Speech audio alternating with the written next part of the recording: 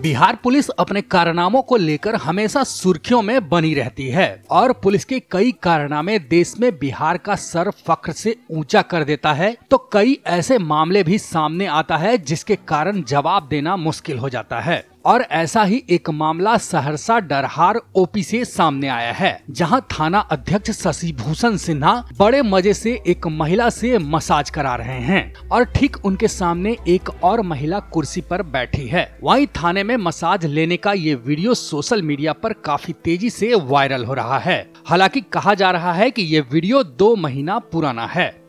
इस वीडियो ने बिहार सरकार के कानून पर एक बार फिर से सवाल उठाया है।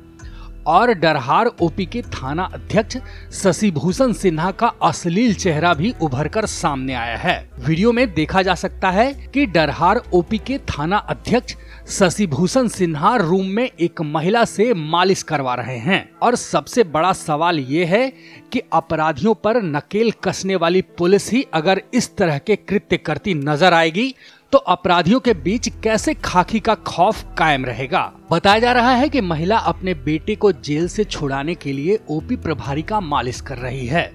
वहीं वीडियो के वायरल होते ही एसपी लिपि सिंह ने एसडीपीओ को मामले की जाँच कर रिपोर्ट देने का निर्देश दिया है। साथ ही एसपी लिपि सिंह ने कहा है कि प्रभारी को निलंबित कर दिया गया है और उसके खिलाफ विभागीय कार्रवाई की जाएगी। गरीब है बेचारी, महिला, कितना पैसा भेज दे और नकल उकल सब लिफाफा में हम भी भेज देंगे।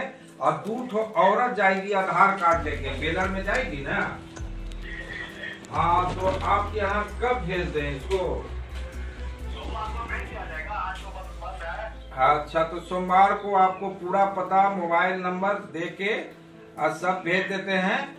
पप्पू बाबू से अपना मिल लेंगे, जब करा दीजिए। देखिए। हाँ काहे कि इसमें इसमें दस हज़ार मेरा ही खर्चा देश और दुनिया की ताज़ा खबरों के लिए कोबरा पोस्ट हिंदी को सब्सक्राइब करें और अलर्ट्स के लिए बेल आइकन पर क्लिक करें। और हाँ दोस्तों, साथ ही हमारे वीडियोस को लाइक और शेयर करना ना भूलिए।